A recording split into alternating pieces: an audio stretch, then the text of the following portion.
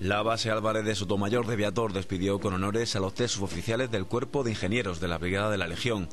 Un emotivo funeral presidido por el ministro de Defensa, Pedro Morenés, el presidente de la Junta de Andalucía, José Antonio Griñán, así como por representantes políticos de toda la provincia y altos cargos del ejército. En primer lugar, se desarrolló la ceremonia religiosa en la que el arzobispo castrense Juan del Río centró su humildad en el significado de la resurrección y recordó a las familias que no están solas en este trance. Posteriormente, el ministro de Defensa impuso la Cruz al Mérito Militar con distintivo amarillo a título póstumo a los brigadas Antonio Navarro y Manuel Velasco y al sargento José Francisco Prieto. Asimismo, recibieron otras distinciones por acciones en diferentes misiones internacionales. El general de la brigada destacó la entrega, profesionalidad y buen corazón de estos tres legionarios que nunca, en palabras de Juan Jesús Leza, serán olvidados.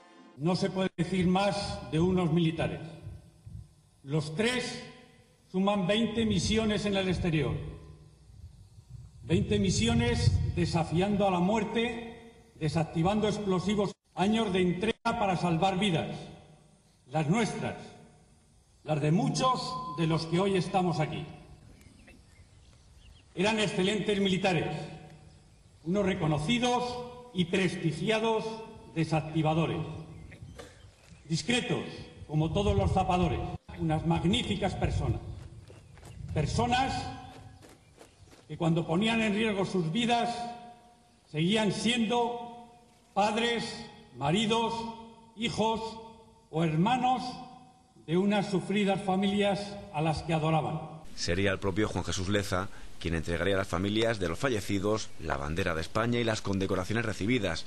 Momento altamente emotivo, como también lo fue la salida de los féretros, acompañados del canto emocionado del novio de la muerte.